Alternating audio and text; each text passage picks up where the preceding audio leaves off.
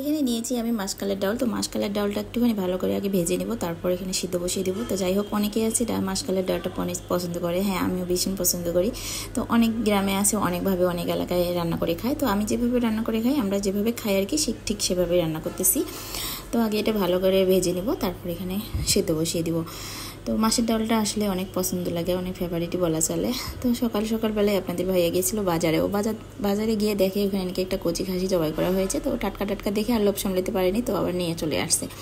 তো বলতেছে, এই মাটন কষা করো, আর তার সাথে করলা ভাজি আর ডাউল হ্যাঁ স্বামীর যেহেতু আদেশ, তাহলে তো মানতেই হবে, তাই না?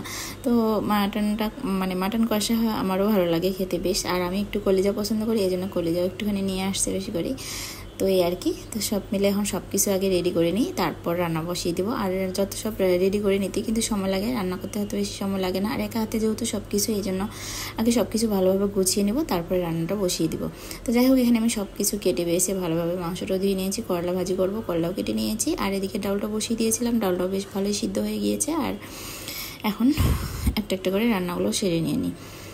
তো করলা ভাজিটা আজকে আমি এইভাবে করতেছি। কারণ ও আপনাদের ভাইয়া বলল যে ও নাকি এভাবে করলা ভাজি খেতে ওর নাকি খুব ভালো লাগে। কারণ অফিসে নাকি একদিন খেয়েছে লাঞ্চের সময় খেতে দিয়েছিল। তো বলতেছে আমার ভীষণ ভালো লাগে, পেঁয়াজ, রসুন ছাড়া এইভাবে ভাজি করবা। তো একটুখানি শুকনো লঙ্কার গুঁড়ো, হলুদের গুঁড়ো, লবণ, স্বাদ মতো দিয়ে আমি এভাবে ভাজি করতেছি। জানি না কেমন খেতে হবে, আসলে আমি আগে কখনো খাইনি। তো দেখা যাক, আজকে খাব। তো যাই হোক মাংস মাংসটা ওইদিকে আমি বসিয়ে দিয়ে দিলাম। আর এদিকে দেখুন আমার দুষ্টু বাবাটা কি দুষ্টুমি করতেছে। আমার সোনা বাবাটা এরকম ছোটোখাটো দুষ্টুমিগুলো দেখতে কিন্তু আমার কাছে বেশ ভালো লাগে। তো যাই হোক, একটা এখানে গাছ লাগিয়েছিলাম, বোম্বাই মরিচের গাছ, তো ওখানে পানি দিচ্ছে। আর কত মজা করতেছে তো যাই হোক, গ্রামের বাচ্চা কাচ্চারা তো অন্য মানে অনেক আনন্দ পায়, খোলামেলা জায়গা পায়। আর আসলে বাচ্চা কাচ্চা শহরের বাচ্চা কাচ্চারা বন্দি থাকে সারাক্ষণে, কী আর বলব? তো যাই হোক, ওর ছোটোখাটো এরকম দুষ্টু মিষ্টি সময়গুলো দেখতে আমার কাছে বেশ ভালো লাগে। তো গাছে পানি দিচ্ছে আর অনেকটাই মজা পাচ্ছে। গাছটা আমি লাগিয়েছিলাম। হ্যাঁ ইচ্ছা আছে খুব মানে সুন্দরভাবে বারান্দাটাকে সাজানোর, কিন্তু দেখি পরে কি করা যায়। আর এই বারান্দাটা যেহেতু একটু চিপা, আসলে বেশি গাছ লাগালে হলে তো ভালো লাগবে না। আর এদিকে মাংসটা সিদ্ধ দিয়েছিলাম, মাংসটার পানিটাও শুকিয়ে এসেছে। এখন একটু ভালোভাবে কষিয়ে নেব। তো দেখুন কালারটা জাস্ট অনেক সুন্দর এসেছে। আর কষা কষা করব। মাংসটা কিন্তু অনেক সুন্দর ছিল। আজকে তেল কম ছিল, চর্বি কম। আর চর্বিওয়ালা মাংস খেতে কিন্তু বেশ ভালো লাগে না। তো যাই হোক কষা কষা করব। বেশি পানি ঝোল করব না। আর ডাউল যেহেতু করব, এই জন্য একটুখানি কষা কষা করে নামিয়ে নেব। আর তার সাথে তো করলা ভাজি থাকতেছি।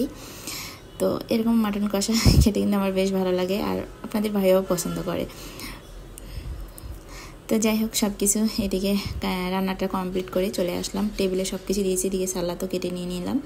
আর এখানে ভাত, ডাউল, মাংস উঠে দিয়েছি বাড়িতে আর কলা ভাজি করে নিলাম সব কিছুই যা হোক, এখন খেতে বসে মানে বাবা ছেলে খেতে থাক, আর আমি এদিকে আমার একটু বাকি কাজ আছে, কাজটাও সেরে নিয়ে নিই।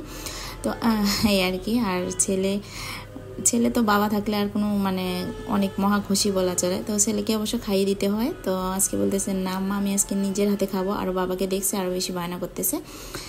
তো যাই হোক বাবা মা একসাথে থাকলে বাচ্চারাও আনন্দ পায় যাই হোক এটাই আর কি। আর এদিকে বলতেছি যে বাবা খাইয়ে দিও খাবে না, নিজ হাতে খাবে। আর তা ভাবলাম যে একটু করে সবাইকে একটুখানি তুলে দিই, পরিবেশন করি বলা চলে। তো হাসতেছিলাম, তো বলতেছি, তোমাকে কী দেবো? তো বলতেছে, আমাকে আগে ডাউল দেবো কেন না, আগে মাংসটাই দিই। তো কয় কি, না না, আমি ডাউল করলা ভাজি খাব। আসলে ডাউলটাও বেশি পছন্দ করে বললাম না, আর আপনাদের ভাইও ডাউল পছন্দ করে, আমি, আমার ছেলে সবাই। আর আমার ছেলের ডাউল হলে তো আর কিচ্ছু লাগেই না, বলা চলে। তো বলতেছে, আগে ডাউল আর কলা ভাজি দিয়ে খাব, তারপর মাংস দিয়ে খাব। যাই হোক, ওরা খেতে থাক আর আমি বাকি কাজগুলো সেরে আসি। তারপর বাকি কাজ আছে, টাকে টুকে আর আমি স্নানটাও সারি নেই তো বলতেছে, তাড়াতাড়ি আসো, একসাথে বসে খাই। আমাকে আমার আশায় তোমার থাকতে হবে না, তোমরা খেয়ে নাও, পরে আমি এসে খাব। আর করলা ভাজিটা নাকি অনেকটাই মজা ছিল, আসলে কি বলব? আর বলতেছে যে, আমি অফিসে খাই, খেয়েছিলাম, তার থেকে অনেক মজা হয়েছে। তো যাই হোক, স্বামীর মুখে এরকম মানে প্রশংসা শুনলে নিজেকে অনেকটা গর্ভবতী মনে হয়? যাই হোক, যেটাই বলে নাকি একটু মজা করলাম। তো যাই হোক, আজকের ভিডিওটা আর বেশি বড় করব না, এতটুকুই। আর বেশি বক বক করে ফেলালাম হয়তো সবাইকে।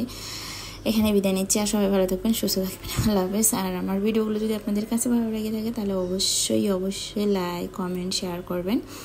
আর কেউ বলব, সবাই ভালো থাকবেন বেশি বেশি করে দোয়া করবেন। আল্লাহ হাফেজ আজকের মতো এখানে বিদায় নিচ্ছি। সবাই ভালো থাকবেন